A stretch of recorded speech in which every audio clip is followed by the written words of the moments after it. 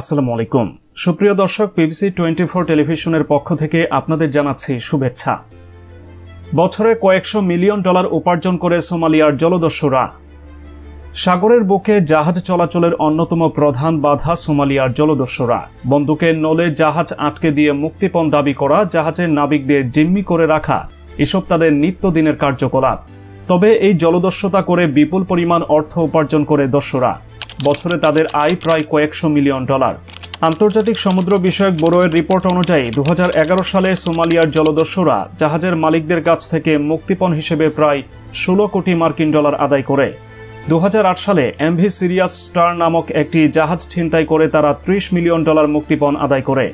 এটি ছিল ইতিহাসের সবচেয়ে বেশি মুক্তিপণের ঘটনা।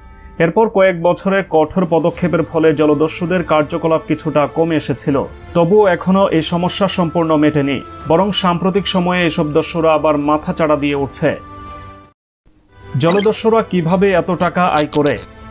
প্রধানত, জাহাজ আটকে মুক্তিপণ দাবি করেই তারা অর্থ উপার্জন করে। এক্ষেত্রে আন্তর্জাতিক জলপথে চলা জাহাজগুলোকে তারা টার্গেট করে। এই জলদস্যুরা আধুনিক অস্ত্রশস্ত্রে সজ্জিত এবং অত্যন্ত দক্ষ। তারা দ্রুতগামী ছোট ছোট নৌকা ব্যবহার করে বিশাল আকারের জাহাজও ছিনতাই করতে পারে। প্রথমেই তারা জাহাজের সামনে চলে এসে পথ আটকে দেয়। এরপর বন্দুকের নলে জাহাজের নিয়ন্ত্রণ নেওয়ার পর জাহাজের মালিকদের সাথে যোগাযোগ করে তারা মুক্তিপণে দাবি জানায়। মূল্যবান পণ্যবাহী জাহাজ বা যাত্রীবাহী জাহাজ সবই তাদের লক্ষ্য। মুক্তিপণের পরিমাণ জাহাজের আকার, বহনকারী পণ্যের মূল্য এবং আন্তর্জাতিক সম্প্রদায়ের উপর নির্ভর করে। কখনো কখনো কোটি কোটি টাকা মুক্তিপণ দাবি করা হয়।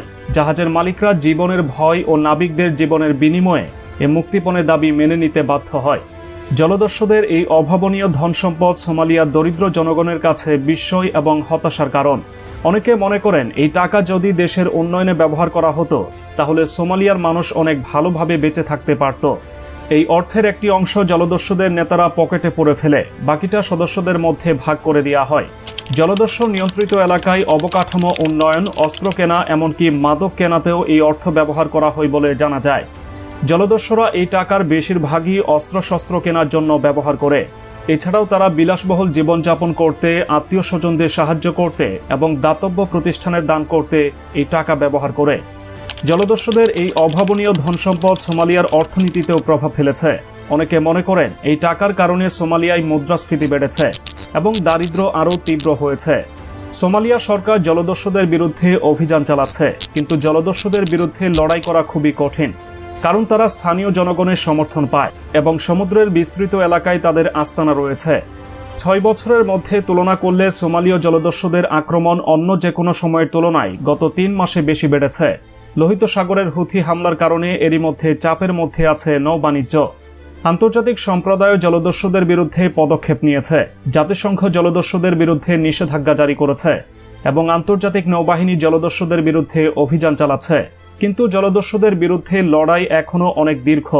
সোমালিয়ার স্থিতিশীলতা এবং অর্থনৈতিক উন্নয়নের জন্য জলদস্যুদের বিরুদ্ধে লড়াইয়ে বিজয় অর্জন করা অত্যাবশ্যক।